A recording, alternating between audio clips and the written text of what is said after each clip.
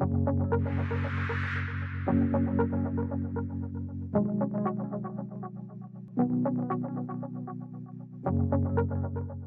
there, my name is Hans and I'm a current uh, student at RSM.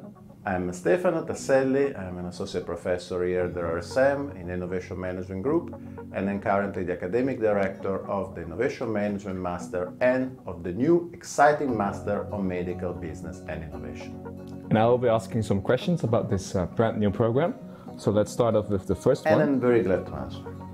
Great. Let's do this. So the first question is, who is this master for? That's a great question.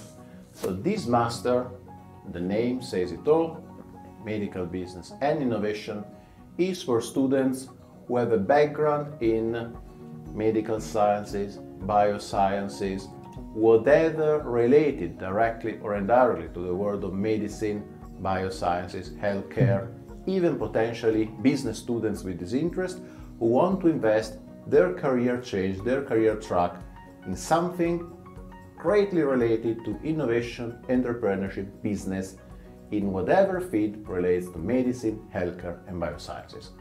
It's something very new, very exciting. Hmm. It's one of the few programs that do it, and we're really excited to push this idea forward and to have the first batch of great students. So let's go to the second question. What is the teaching format of this master? The teaching format is really highly interactive. There is a part of basic knowledge that goes substantially through lectures and through foundational knowledge of the topics that is covered, but then there is a lot of participation interactions. Hmm. That happens through workshops, that happens through guest lecturers specifically on the topic, that happens through case studies that are adapted to the medical and biomedical field, that happens, of course, through teamwork, interaction, and then it gets even more lively with the opportunity, of course, to have an internship and to engage in a project, in a concrete project on that specific kind of field. So we try really to combine knowledge on the topic with practical knowledge that can merge teaching and practice. Okay, that's cool. That's cool. Let's go to the third one. Can I combine work with this program? Oh, that's a very good and tricky question.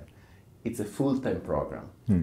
That means substantially that the student must be involved full-time in the master. Of course, during the master, there are specific possibilities to engage in real work with companies.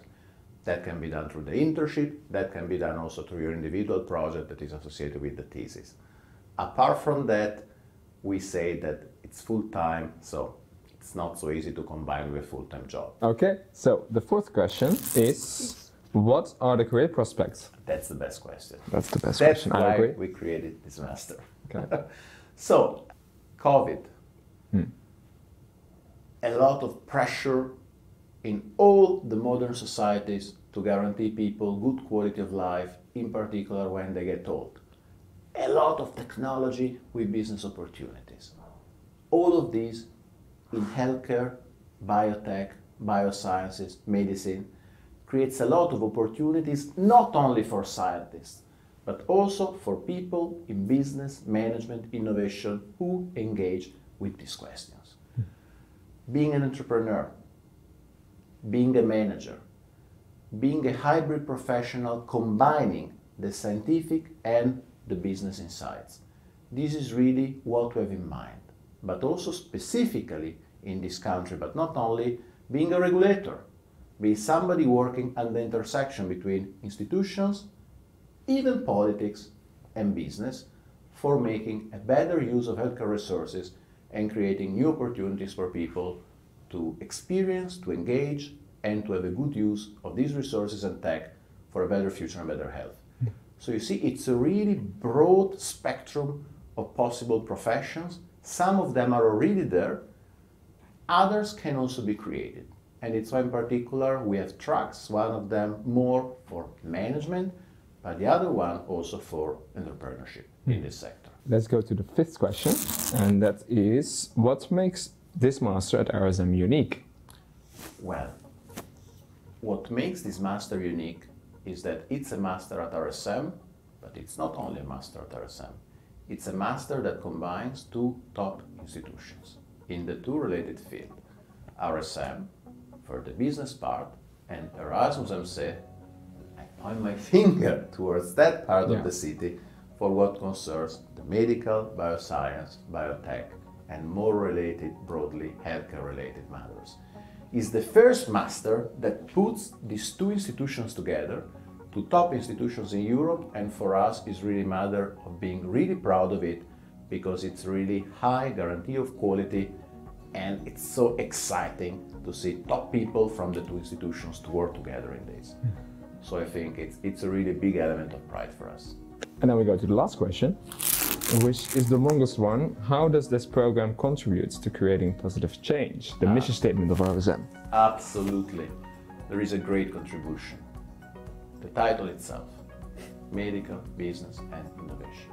The topics healthcare, medicine, tech, and entrepreneurship for the biosciences and healthcare. The people who come here, people who want to change the field. Mm. Innovation in this case is not just in the content, but is also in you as a prospective student.